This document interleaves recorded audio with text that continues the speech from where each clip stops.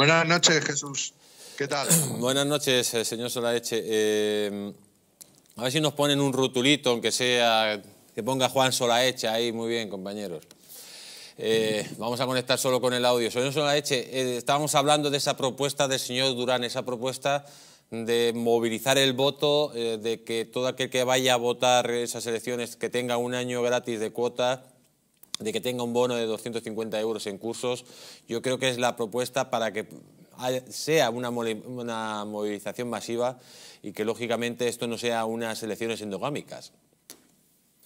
Sí, eh, a lo largo de toda, de toda la campaña eh, lo que se ha visto es que casi todos, lógicamente, salvo Ribón, que es el heredero, el que él se ha declarado, además autoproclamado heredero de Alonso, eh, eh, bueno, eh, muy a las claras, todo el mundo se quejaba de, de la falta de participación, que el colegio no ha potenciado la participación de los compañeras y compañeros porque solamente ha elegido un solo centro, la reducción de los plazos de presentación de candidaturas, eh, y no en todas las demarcaciones territoriales que tiene el colegio eh, a lo largo de toda la comunidad que podía haber establecido las mesas de votación. Se hace muy difícil a compañeros que viven y que trabajan a las afueras de Madrid y que asisten a los juzgados de las afueras eh, de Madrid capital y actúan en, en la comunidad, bueno, pues desplazarse hasta, hasta el centro de Madrid para votar, para votar ese día, ¿no?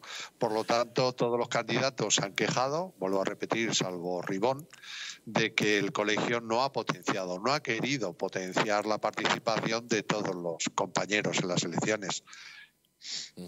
Entonces, eh, Miguel Durán lo que ha ofrecido es, bueno, pues ya que todos los candidatos se quejan de la falta de posicionamiento del colegio para que asistan, bueno, pues yo hago una propuesta real, en serio, firme, de un año de colegiación a todos los que vayan a votar, a todos los que vayan a votar, lógicamente se implementaría si él sale decano, y además no una bolsa de 250, sino de 500 euros, bolsa de formación para todos los cursos que imparte el ICANN. La verdad es que así que fue, que fue una sorpresa Ah, para todos los candidatos porque nadie supo, supo contestarle.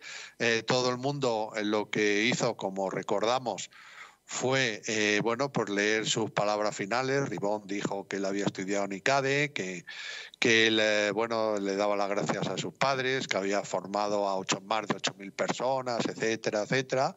Ospina lo que dijo, como recordamos, es, bueno, eh, el Kumbaya, es decir, todos somos muy buenos, vamos a hacer un colegio de maravilla y tal.